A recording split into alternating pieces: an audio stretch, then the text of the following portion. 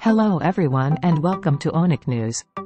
In today's topic we talk about EXO's full group album release this year is likely to be cancelled due to the conflict between EXO CBX and SM Entertainment. This channel provides you with the latest K-pop and Korean related news every day, so make sure to hit the subscribe button for the latest news and trends.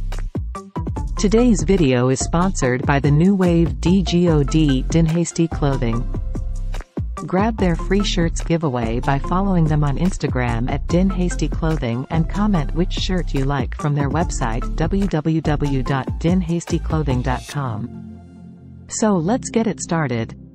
EXO had planned to release a full group album this winter, but it seems likely to be cancelled due to the conflict between EXO CBX, Chen, Baekhyun, and Xiumin, and SM Entertainment.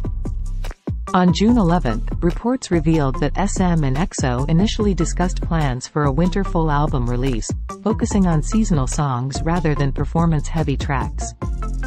An example of such a seasonal song is First Snow, which received significant public love. However, due to the members' solo and individual activities, the project was not further discussed in the first half of the year.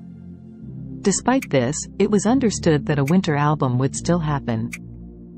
EXO's comeback plan is now facing significant challenges. On June 10, EXO CBX held an emergency press conference, accusing SM of unfair practices. They claimed that despite sending certified mail regarding the unfairness of receiving only 5.5% of album revenue and 10% of sales, SM had not responded for over two months.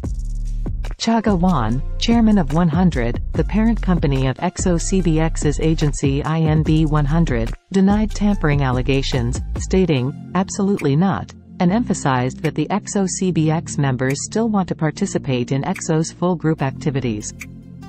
SM quickly released a statement expressing regret and refuting the claims. They clarified, the essence of all incidents is the improper inducement, tampering, of our artists by MC Mong and Cha Ga-won, and explained that the claims regarding the distribution commission rate were untrue.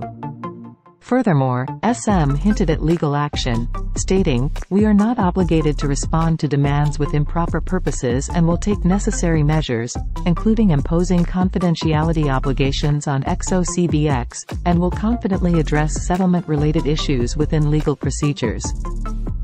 Given the major conflict between EXO-CBX and SM last year, it is widely believed that the recent press conference has crossed a point of no return. Therefore, it is expected that it will be difficult to see EXO's full group album this winter unless another dramatic agreement is reached. What do you think about it? Please let us know in the comments. This video was sponsored by DGOD Dinhasty Clothing.